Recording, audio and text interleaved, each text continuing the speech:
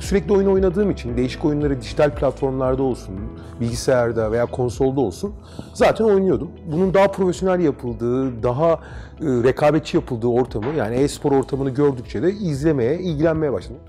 Dijital penetrasyon ve dijital e, dünyaya özellikle gençlerin ilgisi çok çok daha fazla. Avrupa ortalamasının çok üzerinde. Doğal olarak da dijital oyunlara, e-spora olan ilgi çok fazla. Geniş de bir nüfus var. E, çok hızlı ilerliyor, çok hızlı yükseliyor. Ben çok e, hem ilginin şu anda çok yüksek olduğunu yakın zamanda da e, profesyonel sporcu olarak, e-sporcu olarak çok daha fazla üretim sağlayacağımızı düşünüyorum.